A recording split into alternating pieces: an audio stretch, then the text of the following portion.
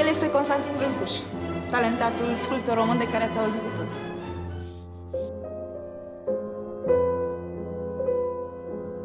La nouă? Băiete, unde ești? Prietenul meu, Amadeo Modigliani, marele pictor. Ce faci? Ai nebunit? Distrug drogurile artei vechi, academice. Distrug! Pleacă, ești liber.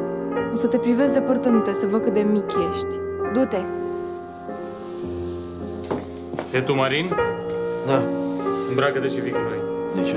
Ia spune-mi cum a fost tot, tot, varianta ta.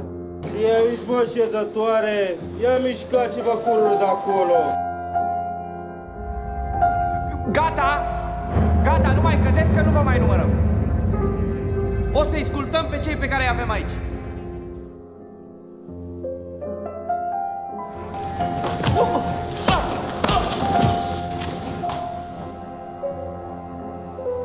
Elaine? Zice aici că ești talentat.